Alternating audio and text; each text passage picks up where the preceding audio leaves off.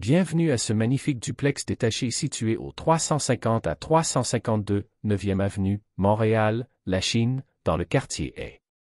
Construit en 1951, ce duplex a été entièrement rénové et offre une opportunité unique pour les investisseurs ou les futurs propriétaires occupants.